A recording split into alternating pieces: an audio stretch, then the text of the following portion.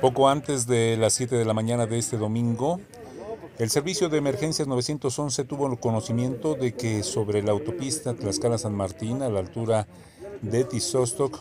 comunidad perteneciente a Iztacuistla, se registra un hecho de tránsito tipo choque por alcance que involucra a esta unidad de la empresa colectivo que cubre la ruta Tlaxcala-Iztacuistla. Atienden como primeros respondientes, paramédicos de Cruz Roja, Protección Civil de Iztacuistla y Protección Civil de Panotla, quienes brindan las primeras atenciones al menos a cinco personas de distintas edades, géneros y prioridades, quienes son trasladados a nosocomios cercanos. Mientras,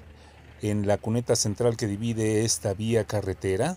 se encuentra el vehículo probable responsable de este incidente es un vehículo de color rojo, auto particular tripulado por un hombre quien conducía en aparente estado inconveniente y colisiona por su parte trasera al colectivo que queda sobre terrenos de labor. Le recomendamos avanzar con precaución con sentido a Texmelucan debido a que se encuentran activos los servicios de atención de al menos cinco personas.